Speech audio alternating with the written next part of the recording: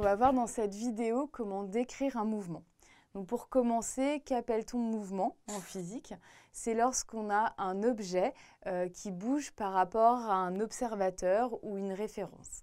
Donc par exemple, quand je marche comme ça, je suis en mouvement par rapport à la référence euh, sol, par exemple, par rapport au sol. Euh, le mouvement est bien évidemment le, contraire de l'immobilité. Et en physique, quand on a un objet qui est immobile, on a pour habitude de dire qu'il est au repos. Il y a deux formes de mouvement que vous devez connaître par cœur, c'est la forme rectiligne et la forme circulaire. Donc on va dire qu'un mouvement est rectiligne euh, euh, si, l'on rejoint l'ensemble de ses positions par une droite. Donc c'est le cas ici euh, du, mouvement de la voiture qui est décomposé sur ces images qui sont ici. Si effectivement on considère un point fixe de la voiture, donc ici au niveau du pare-brise, eh on constate qu'on peut relier l'ensemble des points par une droite. Donc le mouvement est rectiligne. Alors cette droite n'est pas nécessairement horizontale, elle peut être aussi verticale et elle peut être aussi euh, de biais. Ce sera toujours des mouvements rectilignes. Euh, donc l'autre cas, c'est euh, effectivement la forme circulaire. Donc cette fois-ci, vous pouvez relier l'ensemble de la position des objets par un cercle. Donc on va voir ensuite la variation de vitesse. Donc le mouvement, il peut être accéléré si la vitesse augmente, il peut être ralenti si la vitesse diminue, ou il peut être uniforme si la vitesse reste constante. Donc, je vous rappelle que la vitesse, c'est la distance qui est parcourue par euh, l'objet en une seconde, par définition.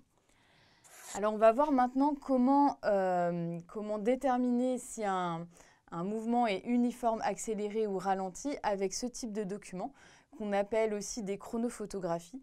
Alors ces documents-là, en fait, on les obtient en prenant euh, des photos en mode rafale, donc par exemple toutes les secondes, et en superposant euh, les photos. Et ça, ça nous permet de décomposer un mouvement pour ensuite euh, l'analyser et le décrire.